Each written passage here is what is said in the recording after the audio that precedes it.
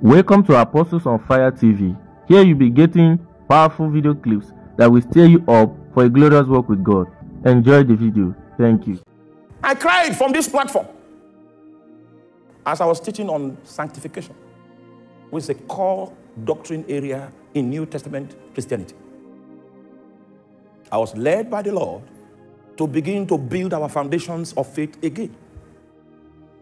And I started from the Old Testament to show us how that God was holy. And in order for us to walk with God, we will have to be holy.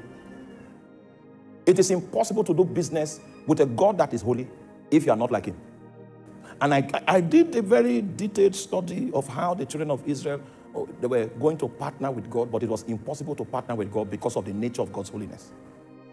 And the entire book of Leviticus was written to see the sacrifices and the things that were required in order to make sinful man to walk with a holy God. That's the reason for which the entire book of Leviticus was written. In order to reveal the basis of our sanctification, if we were going to interact and to have business with a God that is holy. I also showed that anywhere God was, was considered holy. That if you are going to operate in intimacy with God, you'll be confronted by his bold nature of holiness. And that should make you adjust. If you, in, in case you want to do business with the God that is between the cherubims. In fact, those days, when the high priest is going into the Holy of Holies to transact with God, there is a rope that is used to tie his waist, just in case he stands before God and God doesn't find him in the context of holiness. God will kill him. So when God kills him, nobody can go into the Holy of Holies. They will use that rope to draw him out of the presence of God and go and bury him. It means that the priest doesn't even know if the status of his right standing until he stands before Jehovah. So in the New Testament, to avoid slaughter, what was done in the New Testament is that the blood of Jesus becomes the token. Eh? It is, the blood is already dead. That means we are dead. We're already dead. Eh? Death is already smelling. And then it's under the death of Jesus that he has accepted that we can now come boldly. The God in the New Testament has not changed from the old one. But you see, the philosophy of the New Testament is that you come to God and begin to deal with God. The moment you begin to see the way He is, that He is holy, all right, you, through repentance, will begin to adjust to accommodate the fact that He doesn't change. This is how He is. So, and the blood of Jesus is available to take care of our errors when we see Him and we discover that we are not like Him.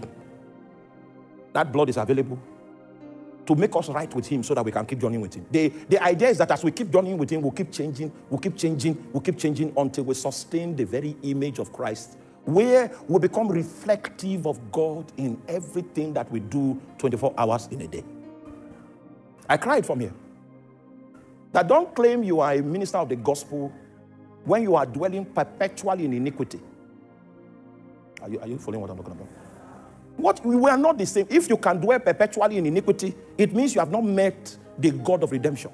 Because if I if I make a mistake, the Holy Ghost will I will know he has left, and he will show me his displeasure hundred percent. He cannot cope up. He cannot keep up with this kind of character. He's so sensitive.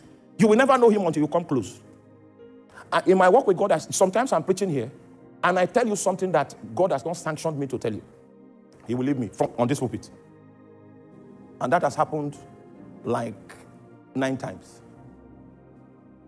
While you are hailing me that, oh, our pastor is a great teacher, I go home to cry because I know he left me. You will see how sensitive God is. So if a preacher, a so called preacher, can dwell in immorality, eh? it means he has not met this God that I preach. It is going to be a gross misrepresentation of God for me to claim that I'm in fellowship with that man under the guise of ecumenism. Because if I do that, what will happen is that what God wants to do with me will be compromised.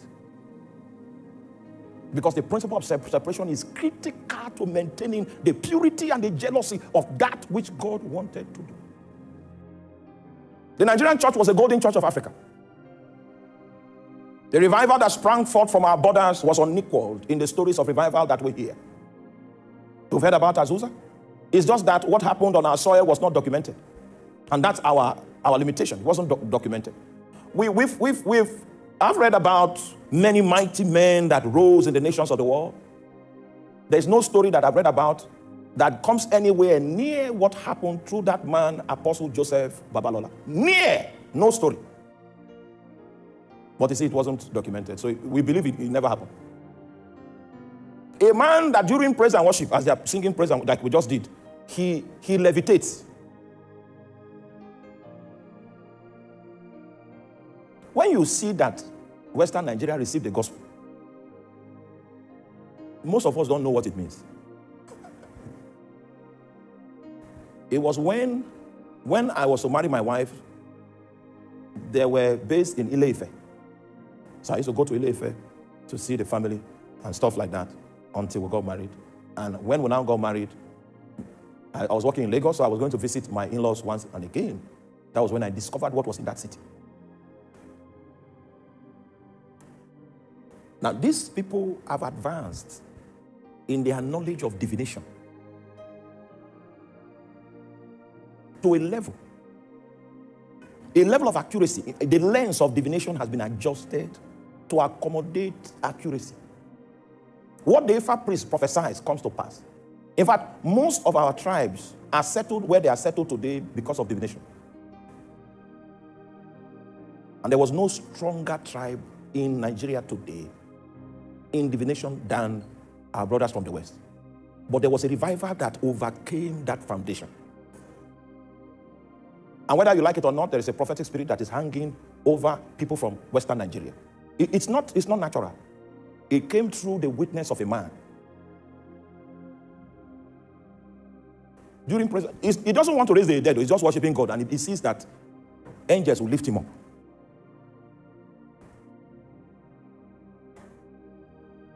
Are you there?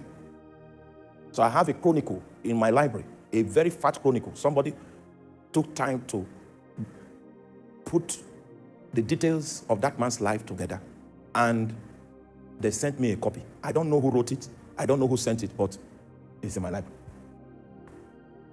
None of the things you read in God's generals comes close to what God did through that man. Are you talking about people that were raised from the dead? That was that's launch that's that's launch box issues. Are you talking about healing sicknesses? In fact, a man operated in healing to a point that he became tired of praying for the sick. And he went and prayed over a little stream that was in his neighborhood. And people were going into the stream for healing. And how many years, 20 something years after he died, a madman still entered that stream and came back healed. The, the, the, the will of God, the dimensions of the expectations of God concerning the potential of the church in this nation was, was eclipsed by darkness. And what we have today in its best is a state of compromise. And this state of compromise was occasioned by the violation of several principles that are critical to maintaining the civilizations that come from God. So Moses was considered as the shepherd of the church in the wilderness. The church in the wilderness journeyed from the land of captivity into the land of promise. The church in the wilderness stopped 42 times in the journey. And by the time you go to the book of Matthew, you are going to see in the book of Matthew when the generations of, of ancestors leading to Christ was captured in the book of Matthew, you are going to see that it was 42 generations, which is consistent with the 42 stations that Israel stopped when they were transiting from the house of bondage into the house of promise. So, if we study the church in the wilderness accurately, you will see a prophetic journey of the church of Jesus in every age in fact, you can even trace and track where the American church is in that, in that journey. You can trace and track where the Ghanaian church is on that journey. So, what I want to do now is to show you that even in the church in, the wilderness, Satan had already pioneered this principle of removing separation from the advancement. So that anything that God gets at the end of the day will be a compromised position. And the glory of God in its entirety and fullness will not be able to rest on that civilization because it doesn't look like the arrangement that is established in the heavens. Meanwhile, the idea of God is that thy will be done on earth the same way it is done in heaven. Exodus chapter 12, verse 33. Then you will see what Satan did. And the Egyptians were urgent upon the people that they might send them out of the land in haste. For they said, We be all dead men. And the people took their dough before it was leavened, and their kneading troughs being bound up in their clothes upon their shoulders. And the children of Israel did according to the word of Moses, and they borrowed of the Egyptians jewels of silver and jewels of gold and raiment. And the Lord gave the people favor in the sight of the Egyptians, so that they lent unto them such things as they required, and they spoiled the Egyptians.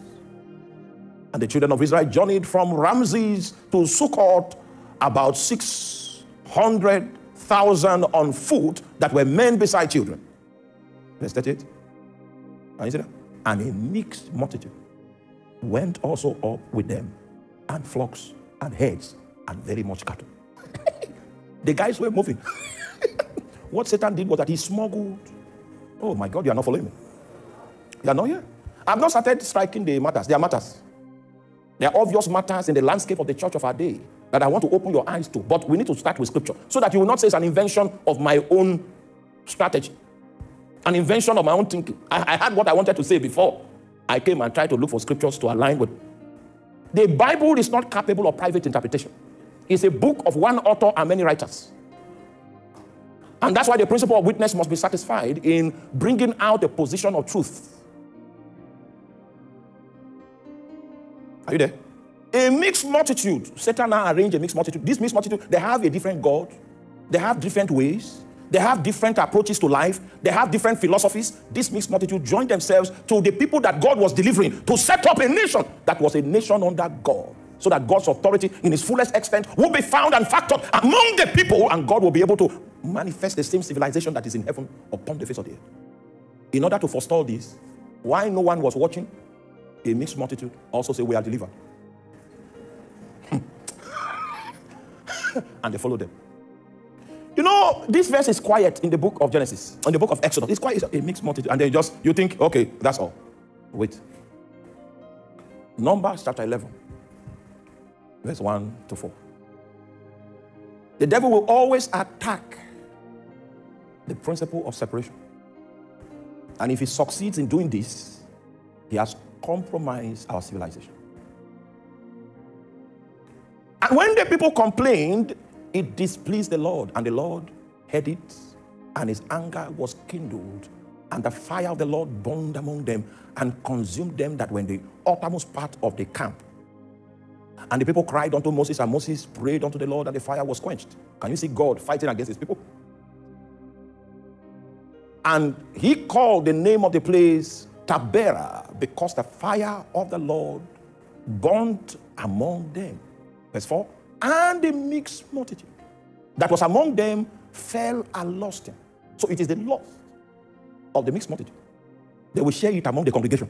When you hear them agitating, say, hey, we need. The engineer of that campaign is a little, is a little fraction of the population is the mixed multitude. They have a different God. They have different principles.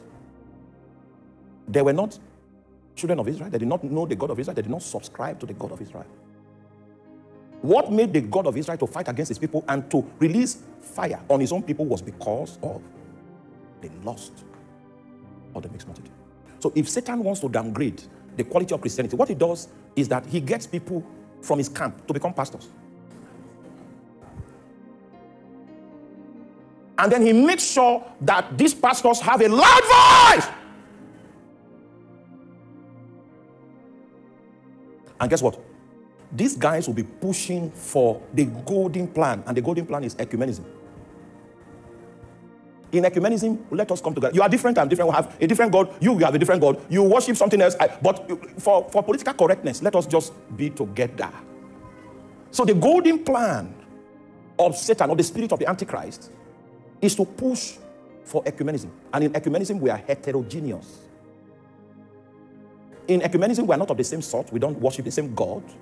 We don't subscribe to the same principles. We are not operating from the same source. We don't have the same values. But so that we, we it will look as if we are one, let us unite. Somebody's an Ezemo. He has an altar. He dance, dances to the spirit naked in the night. But ecumenism will recommend that it is in our interest to be one. But if we try to subscribe to ecumenism, you will discover that what will drive our civilization will be the loss of the mixed multitude. Under such circumstances, the mixed multitude will become powerful, more powerful than the original lot. And because of that, we'll provide concessions to accommodate uh, the mixed multitude in such a way that there will be no crisis. And in that compromise, what we have done is that we have violated the principles of separation. And the product is going to be corruption and what? And violence. You know, when you begin to keep your conviction, keep your commitment to God, and people, other believers will say, ah, the way you are praying, is this? Did you sin? What is it? When you hear that, it is an attempt to diminish your brightness.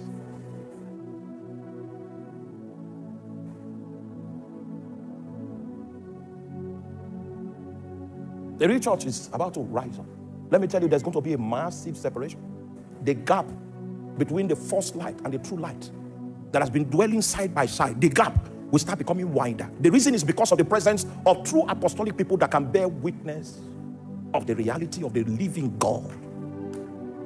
The other day, somebody sent a, a, a text. I said, We will kill you, we will kill you. You know what? Don't send a text. If you see me, kill me. You, you sending texts for weak people. If it is given unto you to do it, I challenge you in the name of Jesus. You don't know the fire that, that the God I serve carries. You will need more than a threat to, to stop us.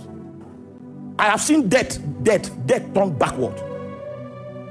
Which is invoked death to take me. And he actually came. I saw death turn backward. My end will not come by blight, it will not come by a bomb. It will only be because the God of heaven says it's time to come. When you see us, kill us. Don't send text messages. That's for weak people. We died long time ago. You can't threaten me with death.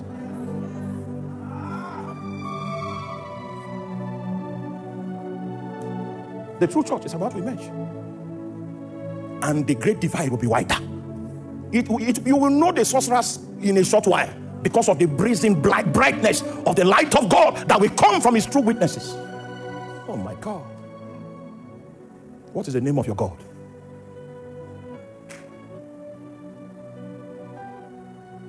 Some people went somewhere for healing and they had to take water and drink the water, and then there's one, one altar there, they will bow down before it, bow down, you, you will not wear shoes.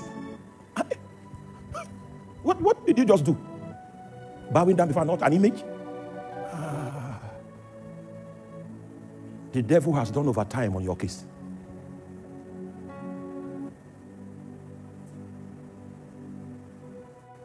Receive grace to stand in your conviction, even if it's not popular. When you find a preacher whose message does not divide, you know, if I begin to preach about Jesus, anyone serving Satan will know that I've exposed him. Are you following? If your message does not divide, it, it's pampas Satanists, in pampas Christians, pampas thieves, pampas fornicators. You say, you know, it's balanced teaching. We're in the middle, you know, so that everybody will. You, you are not a follower of Jesus Christ, you are a man pleaser. I hope you have seen it in the Bible that if I'm a man pleaser, I cannot be in the service of God. God will make you different. He will not make you popular, he will make you different. What it means to be holy is that you are different. Wait, listen, listen, listen. If we go to the market and we buy 10 cups and we take five cups to the temple, the same cups, we say, These ones, we have brought them for God. Then we now take five, the rest of the five, take them home. If the priest comes and anoints those cups, from the day the anointing came on the cups, the cups can no longer be used for any human thing. It's only good for use in the service of God. So these cups are called holy cups. The same cups, the ones you use to give people water, give your baby water, you used to pour water into the, the, the radiator of your car. Those cups that have been dedicated to God cannot be used for mundane purposes. Those ones now only have use in the service of God. So those cups, even though they look alike, they are different. Holiness will make you different. The way normal, common people that fornicate in the market are, you will be different. The way normal people do business, that's not how you will do business. You will be different.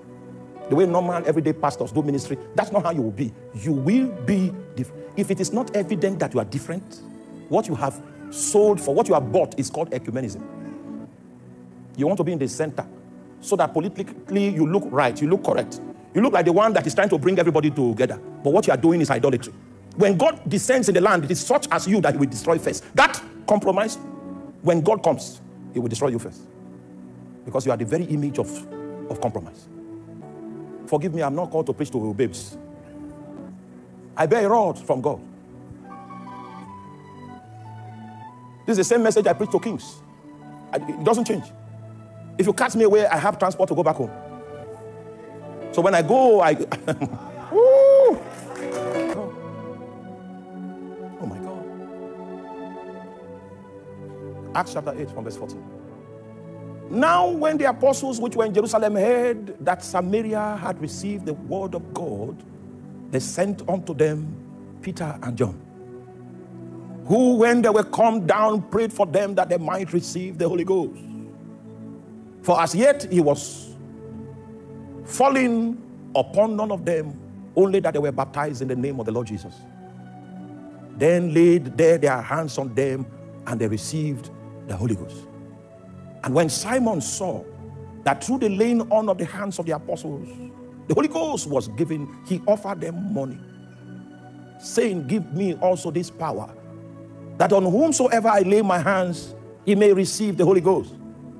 But Peter said unto him, Now, please follow what Peter said. Number one, thy money perish with thee. Why? Because thou hast taught that the gift of God may be purchased with money. There's a preacher on the pulpit, he boasted that he took a certain amount to a certain preacher and received his anointing. And people will say, Hallelujah. Amen. Jesus. That was what earned this man a curse. Thy money perish with thee. Because what? Thou hast thought that the gift of God may be purchased with money. Number two, go on.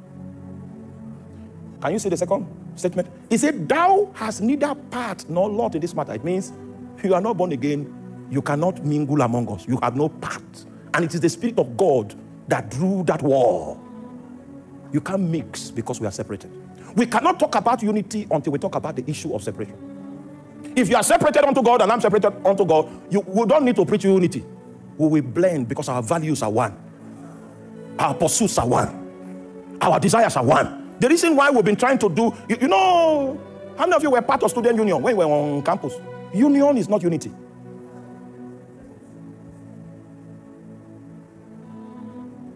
The moment the object of our separation is one, then uni- unity is possible. Unity is possible. Unity is possible. There's a certain place that I don't, I decided, not God, oh, me, I decided that I would not preach here because of several things that happened. So a preacher came and invited me from there. In my heart, it was already known. But I said I should ask God. And God approved. And I was wondering why God did not honor my, my desire not to preach. Until I now went for the invitation. And I saw that we had the same God. And that he had gone to our God and asked him, bring that man.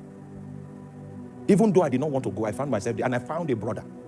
A brother basking in the fires of God. Are you there?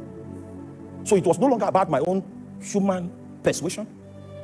My position was overruled because he was in touch with the God of our fathers. You don't, you don't need to preach unity. If we are separated unto the same God, we will find alignment. When you begin to hear people say, you know, believers, we don't love ourselves, this. Calm down. Don't go if go and look for your glasses and put it on and watch him. He's trying to push for ecumenism because he's standing on foreign ground.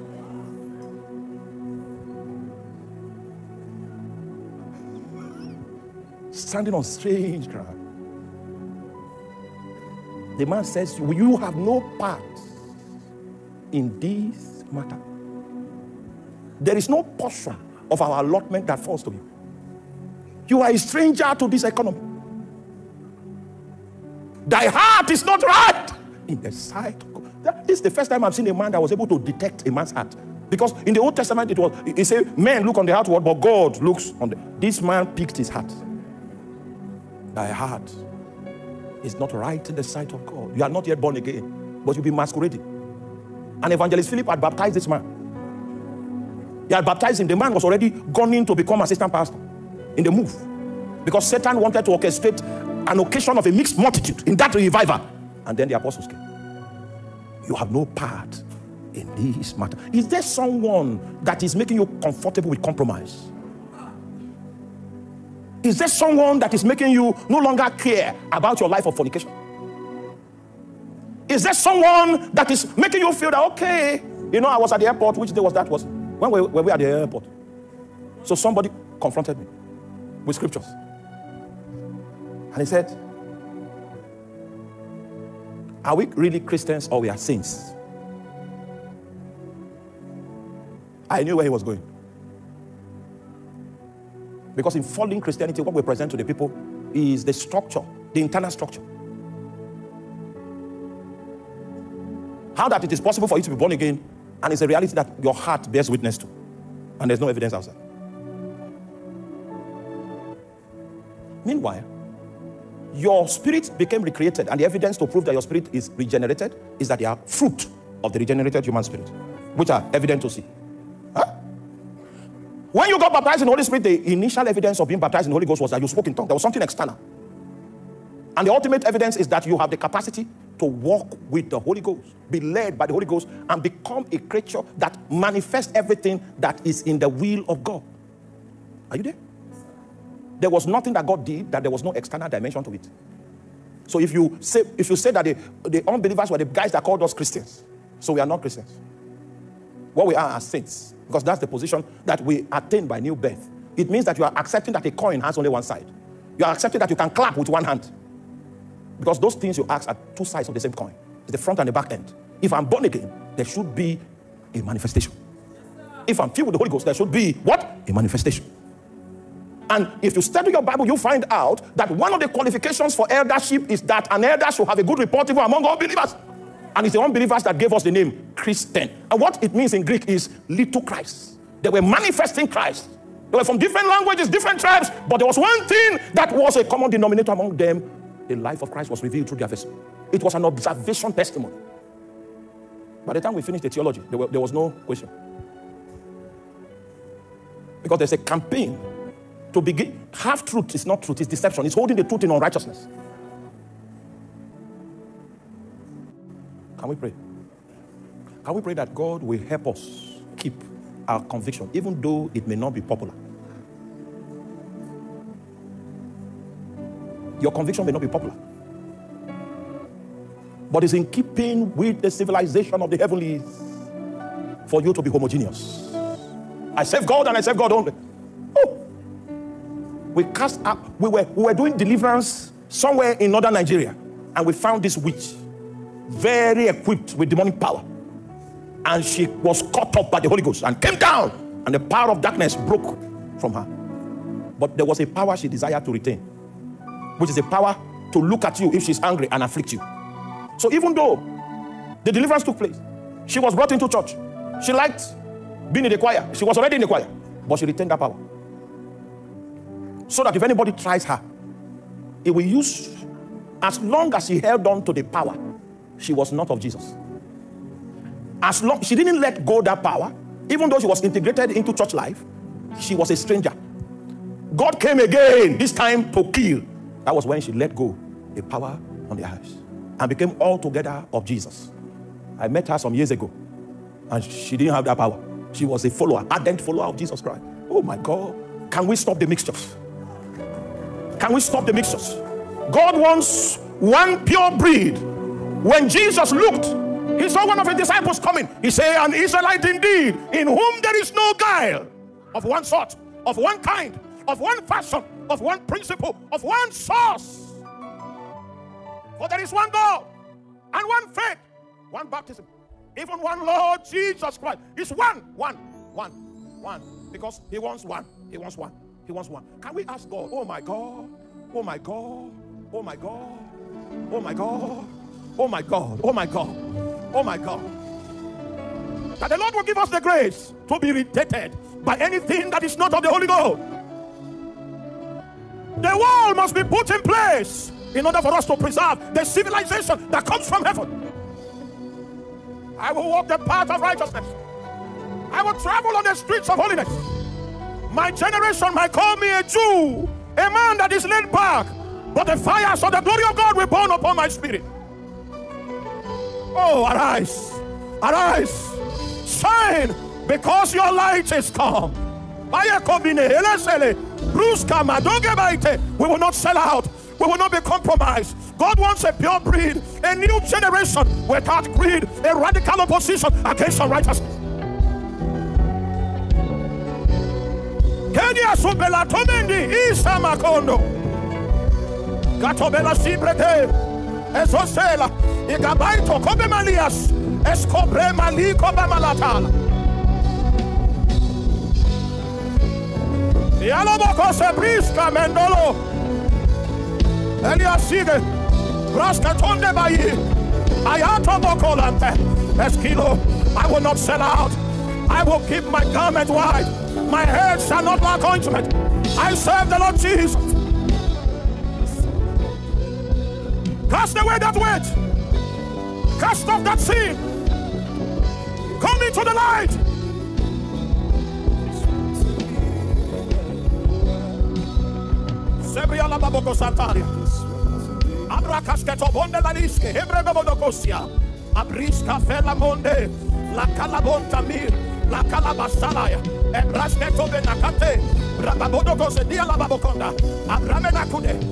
Asika palatwa. Ebrante kesko. Brega da livokose. Aya bobo sante. Aya bobo sikabaya. Abrakanta babobokoria. Escatolia. Iso sadabaya. Ebrebete. Alamo santa. Alama la baboria. Eskamina kadebakoske. Ebresko tababaya. Abrama sande. Abrama katabopenda. Asabaka na branda baboria. Esobria la babodeba. Shabahatane. Urama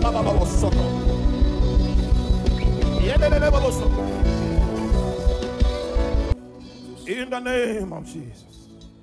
So when you find a man gaining mileage and the hand of God is intense upon him, what he did was that he subjected himself for purging. Yeah, he subjected himself to the protocol of purging. Hey, hey, will you allow him purging? That your anger cannot travel with him. Your wickedness cannot travel with him. The pornography that you are beginning to like in the night cannot travel with him. And you will decide that you need to be purged. It is when you decide to be purged, ah, you are considered for more noble kingdom tasks. You can decide to be silver. You can decide to be gold. You can decide to be wood. You can decide to be stubble. And you must you must understand that when the test that will that will determine your worth is the test of fire. So if you put stubble in fire, what will happen to it? You put wood in fire, what will happen to it? But you put gold in fire, it purifies it. Oh my God. Oh my God. Can we invite Jehovah M'Kaddesh? The one that sits in the seat of refiner and purifier of silver. Take away the dross. Take away the alloy. Take away the mixture. Take away the mixture. Take away the mixture. Take away the mixture. Take away the mixture. I submit for potting, for potting, for potting, for potting, for potting. For potting, for potting, for potting.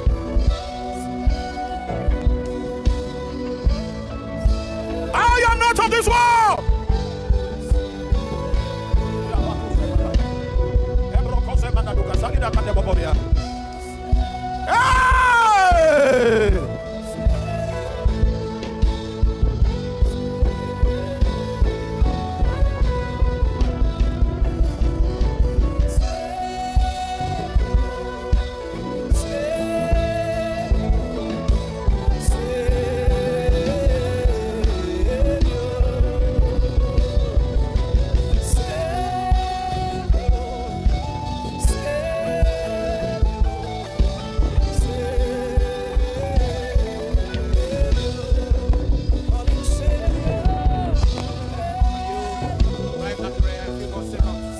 Thank you for watching. do well to subscribe, like, share the video to your loved ones so they can receive what God is doing from this platform. You can also follow us on all our social media platforms. We are on Instagram, we are on Facebook, and we are on Twitter. Thank you.